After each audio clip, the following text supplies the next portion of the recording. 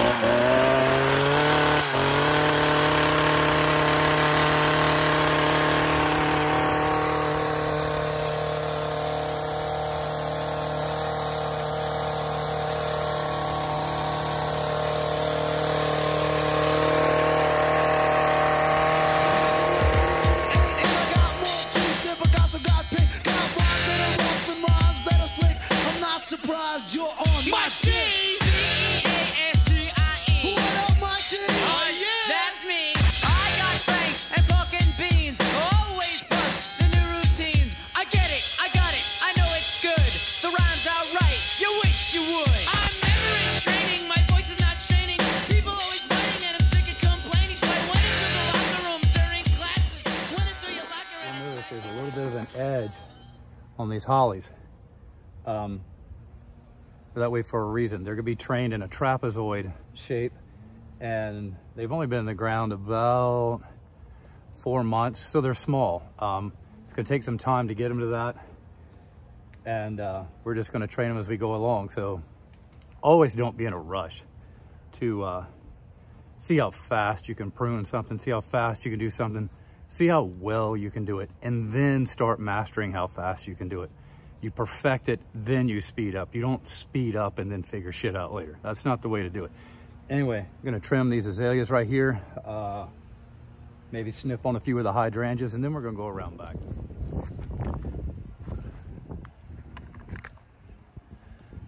These are encores. They bloom several times a year. However, um, it doesn't change how you should prune them, excuse me, from uh, the standard indica azaleas or any shrub for that matter. If you just start doing this, what happens is you cut off three points. The next time you go to trim this, you're gonna be cutting off like 16 points. And that's how things get leggy, get shitty, and you wonder why your hedges aren't looking good. That's why. Take the time to do this with hand snips and do it properly and charge properly. You want to I actually happen to do it here, but um, you can see where this new cluster is coming out. And I wanted to get rid of this new top growth. Go back as far as you can, hopefully just above the, uh, the last leaf there. And that's it, like these. Let me get one in the front. You like this sucker here. Just go just above the leaf at a small angle and you're good to go.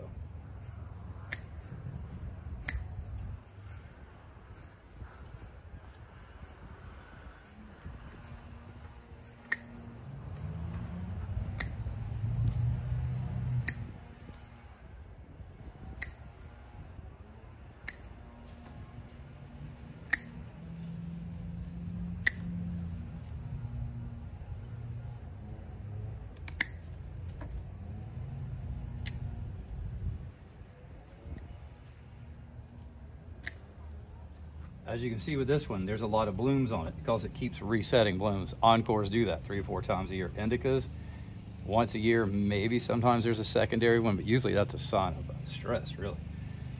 But going through and sometimes you may have seen me doing it, you have to go back and just take out a hard woody branch. In which case you wanna go just down to the intersection here, go just a little bit above it and just snip it off at an angle right there. Angle just really helps anything from being kind of flat, squared off where water can rest on it and create some rust or maybe start a mold, mildew, and a fungus problem. But um, that's pretty much it on these. Um, step back and take a look. There they are. Nice rounded shape, maybe a little bit of uh, touch here and there. But other than that, they're in good shape and now they can continue blooming. I didn't cut off any blooms other than those that were necessary. And uh, they'll look healthy and, and grow quite well. Uh, as you may see, the boxwoods, let me turn this. We've got a little bit of fungus going on over here, which is, uh, I have it in my truck. Um, it's a really good thing to carry some alcohol to put uh, your snips, hedge uh, trimmers, whatever, anytime you switch uh, shrubbery and stuff, just dip them in it real quick so you're not transplanting fungus and disease and, and things like that. It's always a good habit to get into. here we are in the backyard. We're going to trim up this podocarpus. We're going to groom the cedars a little bit. Um, there's some more azaleas back here, some hydrangeas that might get done. We're going to do some understory pruning on these crepe myrtles. Uh, some weed pulling, just basically getting it back into shape. Like I said, we've had this in here. The backyard's been done longer, maybe eight, nine months, something like that. Anyway, um, let's start with carpet, work our way around here.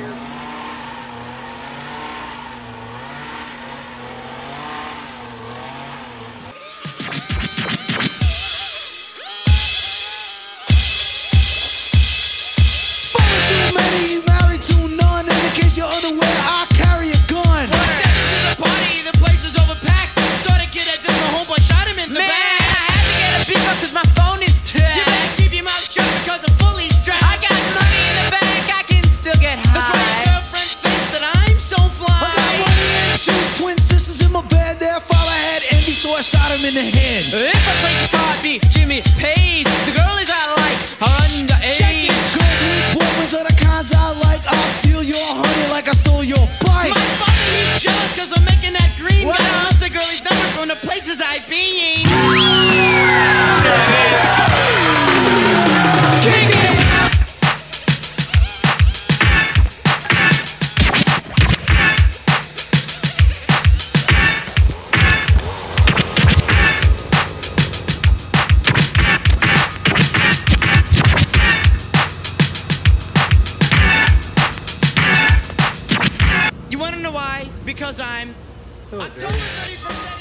31st, that is my what are some of the dumb things you do in this industry? Um, I forget ladders. The overall goal. I had to cut out a little bit for this hydrangea to give it some room. Things are real tight in this landscape. She wanted it that way. But uh, we're gonna move on over to the uh, azaleas and the crepe myrtles right here.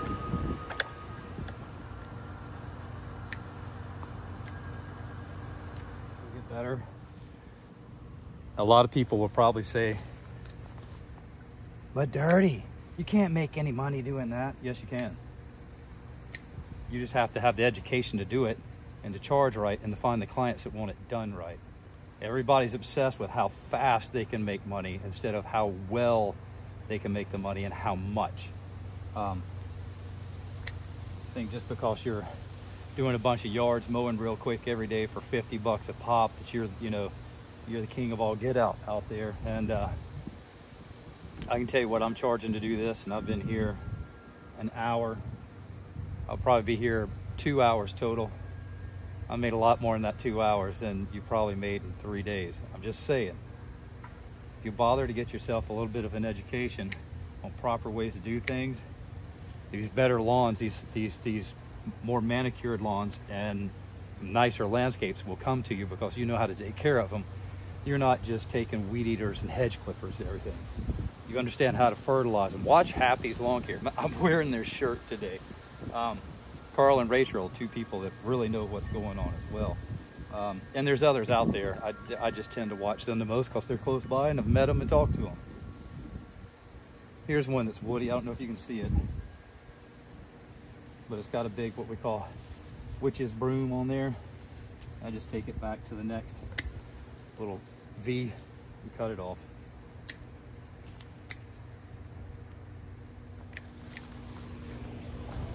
As you can see, this crepe myrtle is a mess. We want to thin this out and lift the canopy straight up. Um, it's never good to always be hacking the top of these things and to uh, be performing crepe murder. There's no reason to. If you're always having to cut them back to avoid something, you need to dig the tree up and put something there. It's more in favor of uh, of the area and growing well. Like uh, maybe a red bud, uh, maybe something very uh, conical shaped like a holly or something. But if you're looking for something soft, it won't get too big, blooms, red buds, dogwoods, things like that.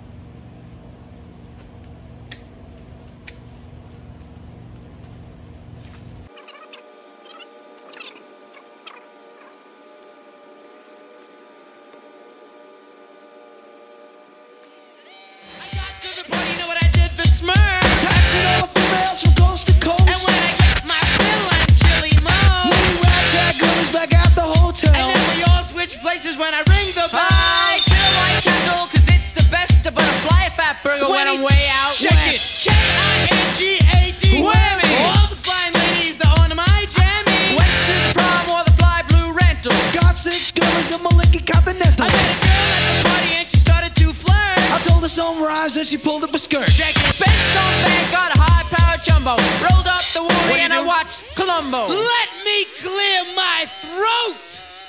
Kick it over here, baby pop. And let all the fly skimmers feel the beat. Mm, All right, drop. Lon Lynn, that's about it. I'll do a cleanup real quick and then I'll come back and do a walk around with you. Oh, and I gotta plant these, uh,